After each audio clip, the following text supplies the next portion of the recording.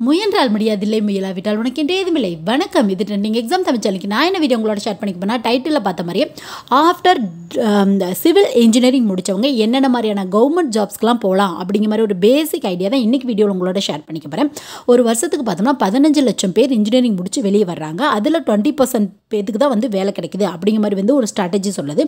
So நீங்கள் அந்த மாதிரி சூழ்நிலையை சிவில் இன்ஜினியரிங் முடிச்சிருந்தீங்கன்னா நீங்கள் கவர்மெண்ட் ஜாப்ஸில் எக்கச்சக்கமான ஆப்பர்ச்சுனிட்டிஸ் இருக்குது அதுக்கு நீங்கள் பண்ண வேண்டியதெல்லாம் ஹார்ட் ஒர்க் டெடிகேஷன் என்னென்ன மாதிரியான ஜாப்ஸ் இருக்குன்னு தெரிஞ்சு அதுக்கேற்ற மாதிரி ப்ரிப்ரேஷனை ஸ்டார்ட் பண்ணிங்கன்னா கண்டிப்பாக வந்து ஒரு ஒன் இயர்லோ டூ இயர்லோ நீங்கள் ஒரு நல்ல ஜாப்பில் போய் செட்டில் ஆயிடலாம் சொல்லாங்க சொல்லலாம். இது மட்டும் இல்லாமல் ப்ரமோஷனும் உங்களுக்கு வேக வேகமாக கிடைக்கிறனால கவர்மெண்ட் ஜாப்ஸை நீங்கள் ஃபஸ்ட் ஆப்ஷன்ஸாக வச்சுக்கலாம். சரிங்களா? இதில் ஃபஸ்ட்டு வந்து பார்த்தோம்னா நீங்கள் யூபிஎஸ்சி எக்ஸாம்ஸ் எழுதலாம்.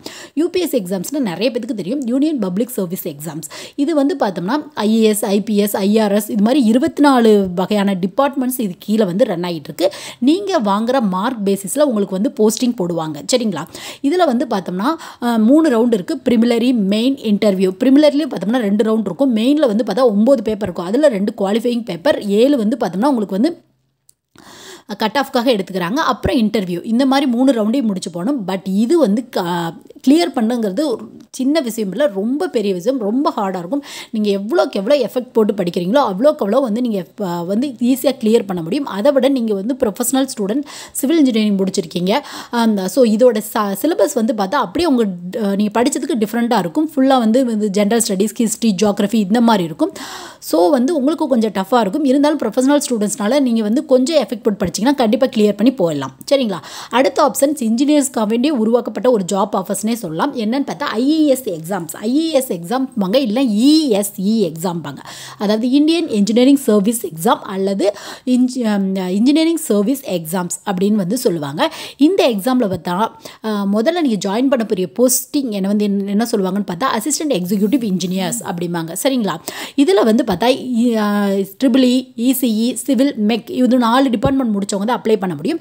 இதில் வந்து பார்த்தோம்னா சிவிலுக்கு கீழே என்னென்ன டிபார்ட்மெண்ட் இருக்குது எது எதில் உங்களுக்கு அசிஸ்டன்ட் எக்ஸிக்யூட்டிவ் இன்ஜினியர்ஸ் ஆகிறதுக்கான வாய்ப்புகள் இருக்குதுன்னு பார்த்தா Indian railway service of engineers Indian railway stores of service civil இன்ஜினியருக்கான post வந்து இதில் போடுறாங்க. Central engineering service central engineering service on roads group A civil engineering post survey of India group A service border roads engineering service Indian defence service of engineering AEE in MES surveyor grade centre water engineering Indian skill development centre இது மாதிரியான டிபார்ட்மெண்ட்ஸில் civil இன்ஜினியர்ஸ்க்கு கீழே இருக்குது நீங்கள் இதில் select ஆகிட்டிங்கன்னா உங்களோட salary in hand salary வந்து பார்த்தோம்னா நாற்பத்தி ரெண்டாயிரத்துலேருந்து நாற்பத்தி மூணாயிரரூபா இருக்கும். ஃபஸ்ட்டு மந்த்து அது மட்டும் இல்லாமல் செவன்த் பே கமிஷனுக்கு அப்புறம் பார்த்தோம்னா இதோட சேலரி வந்து பார்த்தோம்னா ஐம்பத்தையாயிரத்துலேருந்து ஐம்பத்தி ஆறாயிரம் வரையும் இருக்குது சரிங்களா? இப்போ இந்த ஏஏஓட ப்ரமோஷன் எப்படி இருக்குன்னு பார்த்தோம்னா அசிஸ்டன்ட் எக்ஸிக்யூட்டிவ் இன்ஜினியர்ஸ்லேருந்து இங்கே ஒரு மூணு டு நாலு வருஷம் ஒர்க் பண்ணிட்டீங்கன்னா நீங்கள் எக்ஸிக்யூட்டிவ் இன்ஜினியர் ஆகலாம் அதுலேருந்து இங்கே ஒரு பத்து டு பதிமூணு வருஷம் ஒர்க் பண்ணிட்டீங்கன்னா ஜாயின்ட் சென்ட்ரல் மேனேஜர் ஆகிடலாம் ஜாயின்ட் சென்ட்ரல் மேனேஜர்லேருந்து ஒரு இருபது வருஷம் ஒர்க் பண்ணிட்டீங்கன்னா ஜென்ரல் மேனேஜர் இல்லைனா சீஃப் இன்ஜினியர்ஸ் ஆயிடலாம் அதுலேருந்து நீங்கள் ஒரு முப்பது வருஷம் ஒர்க் பண்ணிட்டீங்கன்னா சீனியர் ஜென்ரல் மேனேஜர் ஆயிடலாம் இந்த சீனியர் மேனேஜருக்கு அப்புறம் ஒரு ரெண்டு வருஷம் மூணு வருஷத்துல நீங்கள் பார்த்தா செக்ரட்டரி ஆஃப் தி டிபார்ட்மெண்ட் இந்த டிபார்ட்மெண்ட்டோட செக்ரட்டரி ஆக முடியும். சரிங்களா? இதில் வந்து பார்த்தா எக்கச்சக்கமான அலோவன்ஸ் இருக்குது medical allowance dearness allowance domestic சர்வெண்ட்டுக்கான allowance டிரைவருக்கான அலோவன்ஸ் அப்புறம் டூர் அலோவன்ஸ் அப்புறம் பர்சனல் அசிஸ்டன்ட் வச்சுருந்தீங்கன்னா அதுக்கான அலோவன்ஸ் அஃபிஷியல் வெஹிக்கிளுக்கான அலவன்ஸ் எக்கச்சக்கமாக தராங்க. அது மட்டும் இல்லாமல் வந்து பார்த்தோம்னா இதில் வந்து நீங்கள் ஒர்க் பண்ணுற சிட்டி பேஸில் உங்களுக்கு சேலரி கொடுக்குறாங்க. கிளாஸ் ஏ சிட்டியா கிளாஸ் பி சிட்டியா கிளாஸ் சி சிட்டியா மெட்ரோ சிட்டியா இது மாதிரி பேஸ் பண்ணி உங்களுக்கு வந்து சேலரி தராங்க. ஸோ இது வந்து நீங்கள் அடுத்த ஆப்ஷன்ஸாக வச்சுக்கலாம். இது ஒரு நல்ல ஜாப் உங்களுக்கு வந்து பார்த்தோம்னா ஒர்க் லைஃப் பேலன்ஸும் ஓரளவு உங்களுக்கு பண்ண முடியும். ஓகேங்களா நெக்ஸ்ட்டு வந்து பார்த்தோம்னா என்ன டிபார்ட்மெண்ட் வச்சுக்கலாம்னு பார்த்தோம்னா பிஎஸ்யூ டிபார்ட்மெண்ட் அதாவது பிஎஸ்யூ டிபார்ட்மெண்ட்னா பப்ளிக் செக்டர் அண்டர்டேக்கிங் டிபார்ட்மெண்ட் இதில் வந்து பார்த்தோம்னா முந்நூறுக்கும் மேற்பட்ட டிபார்ட்மெண்ட்ஸ் இருக்குது இயர்லி ஒவ்வொரு ஒவ்வொரு டிபார்ட்மெண்ட்லையும் கிட்டத்தட்ட ஒரு ஆயிரம் இன்ஜினியர்ஸ் கிட்ட வேலைக்கு எடுத்துக்கிட்டு இருக்காங்க. எக்ஸாம்பிளுக்கு இந்த பெல் கம்பெனிஸாக பார்த்தா கிட்டத்தட்ட ஆயிரம் பேத்துக்கிட்ட எடுக்கிறாங்க.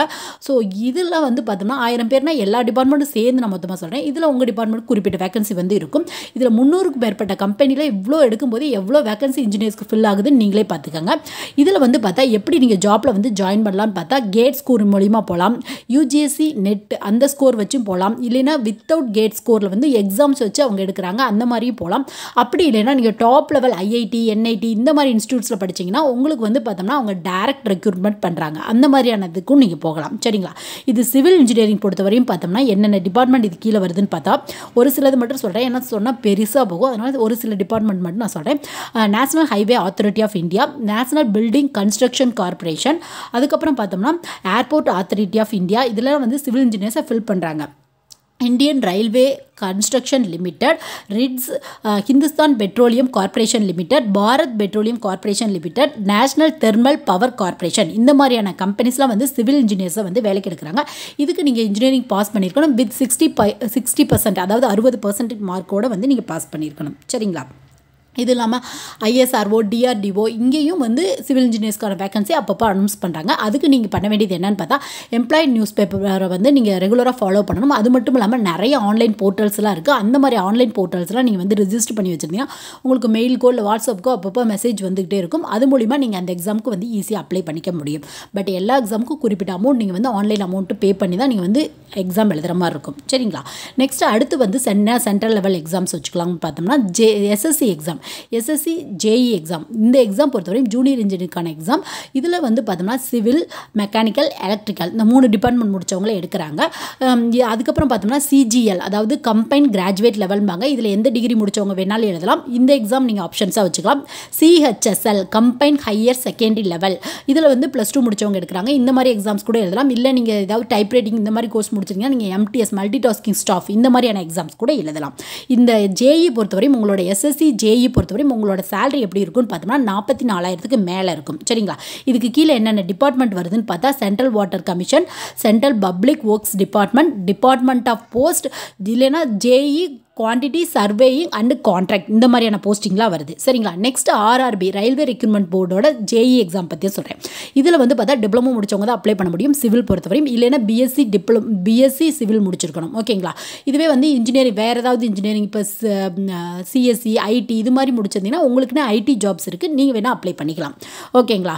நெக்ஸ்ட் வந்து பார்த்தா இதோட சேலரி எப்படி இருக்கும்னு பார்த்தோம்னா ஏஇக்கு முப்பத்தி ஏழாயிரத்துக்கு மேலே தான் இருக்கும் உங்களோட சேலரி சரிங்களா? நெக்ஸ்ட் ஸ்டேட் கவர்மெண்ட் பொறுத்தவரையும் ஃபஸ்ட் ஆப்ஷன் வந்து பார்த்தோம்னா combines combine engineering service exams சரியா? டிஎன்பிஎஸில் கண்டக்ட் பண்ணுற கம்பைன்ஸ் இன்ஜினியரிங் சர்வீஸ் எக்ஸாம் இதுக்கு கீழே என்னென்ன டிபார்ட்மெண்ட் வந்து சிவில் ரிலேட்டடாக வருதுன்னு பார்த்தா தமிழ்நாடு பிடபிள்யூடி டிபார்ட்மெண்ட் அசிஸ்டன்ட் அதாவது port service department fishery department water resources department இது மாதிரி டிபார்ட்மெண்ட்லாம் வருது. இதில் நீங்கள் அசிஸ்டன்ட் இன்ஜினியர் ஆகிறதுக்கான வாய்ப்புகள் இருக்குது பில்டிங் ரிலேட்டடாகவும் இந்த ஃபீல்டு கீழே வருது. ஓகேங்களா? இதுக்கு வந்து இந்த எக்ஸாம் வரும்போது எத்தனை வேகன்சி இருக்குன்னு பார்த்து நீங்கள் அப்ளை பண்ணணும் இதோட சிலபஸ் பார்த்தோம்னா மோஸ்ட்லி வந்து நீங்கள் காலேஜ் லெவலில் படிக்கிற சிலபஸாக தான் இருக்கும். சரிங்களா? இந்த ஜேஇ ஏஇ இதுக்கெல்லாம் வர சிலபஸ் பூரா நீங்கள் காலேஜ் பேஸில் என்ன படிச்சிங்களோ அது மாதிரி மட்டும் தான் இருக்கும். சரிங்களா?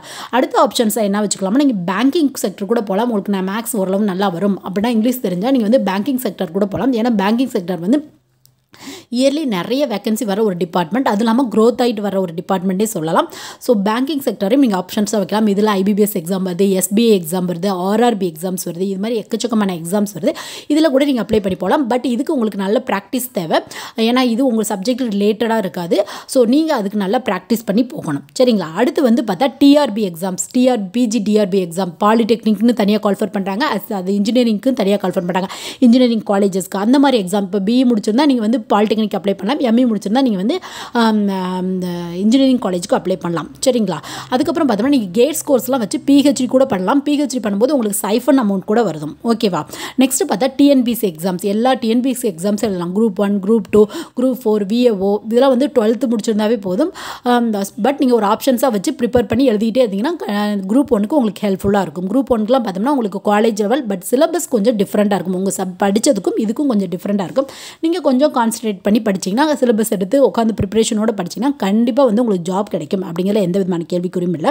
சரிங்களா? இது மாதிரி வந்து சிவில் இன்ஜினியருக்கு ஏகப்பட்ட கவர்மெண்ட் ஜாப்ஸ் வந்து அவைலபிளாக இருக்குது இதுக்கெல்லாம் நீங்கள் பண்ண வேண்டியது என்ன ப்ராட் மைண்டடாக ஜாப்ஸ் என்னென்ன இருக்குன்னு தெரிஞ்சுக்கிட்டு முதல்ல அதுக்கு வந்து டெடிகேஷன் போட்டு ஹார்ட் ஒர்க் போட்டு நீங்கள் படிச்சிங்கன்னா போதும். கண்டிப்பாக நல்ல ஜாப்பில் போய் செட்டில் ஆகலாம் இந்த வீடியோ சிவில் இன்ஜினியரிங் முடிச்ச நிறைய பேருக்கு யூஸ்ஃபுல்லாக இருக்கும்னு நினைக்கிறேன். எனிவே தேங்க்ஸ் ஃபார் வாட்சிங்